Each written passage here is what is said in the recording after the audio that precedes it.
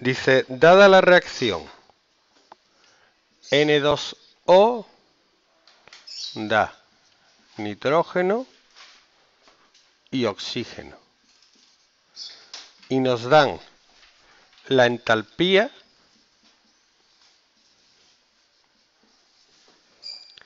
y la entropía.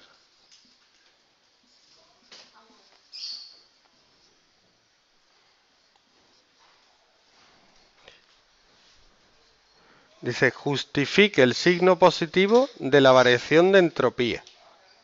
¿Qué es la entropía? ¿Sabes lo que es o no? Es una medida del orden o el desorden que tiene un sistema. Entonces, si aumenta la entropía, es que esto está más desordenado que esto. ¿Tú lo ves más ordenado o más desordenado? No. Está más desordenado. Si tú aquí tienes una cosa y aquí tienes dos, dos cosas siempre son más difíciles de ordenar que una. ¿Vale? Esto está más desordenado que esto.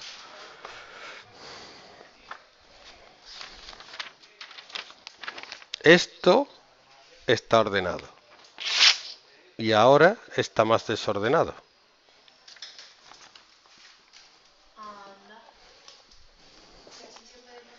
Muy importante, sí.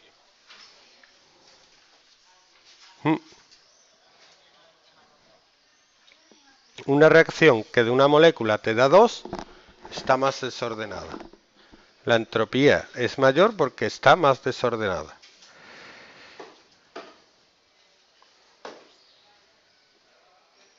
Y ahora me preguntan, si se supone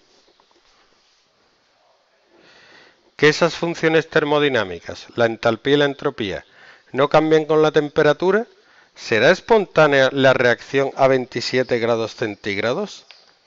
Chan chan.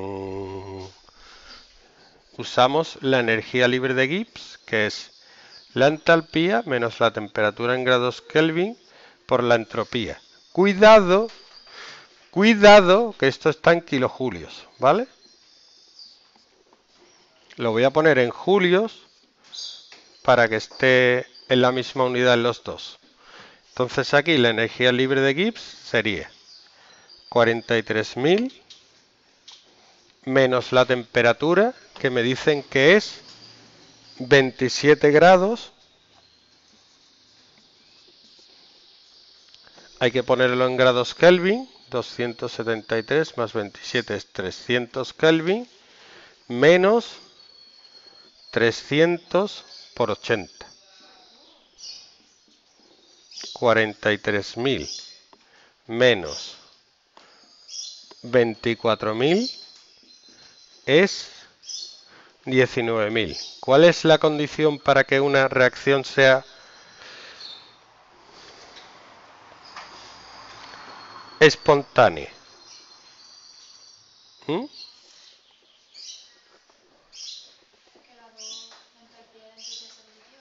No. Que la energía libre de Gibbs sea negativa. ¿Vale? Para que sea espontánea, la energía, el incremento de G, tiene que ser negativo. Aquí, como es positivo, no es espontánea. Ahora, imagínate que te preguntan a partir de qué temperatura es espontánea. ¿Vale? Mm, una reacción química es la división de, unos, de una molécula en otras, en este caso. Tú sabes que la temperatura a lo que afecta es al movimiento de las partículas, ¿vale? Cuanto más temperatura hay, más rápido se están moviendo. Entonces, cuando tú aumentas la temperatura, lo que haces es, llega un momento en que se rompen los enlaces y se produce la reacción. Entonces, en esta, por ejemplo, si subes la temperatura, va a llegar un momento en que como esto no cambia, va a llegar un momento en que este término va a ser más grande que este. Y entonces a partir de ahí va a ser espontáneo. ¿Cómo calculo ese punto? Pues digo, ¿cuándo la energía libre de Gibbs es cero? Y lo calculo. 43.000 menos T por 80 y despejo T. Y T sería 43.000 partido 80, que es 537,5 grados Kelvin.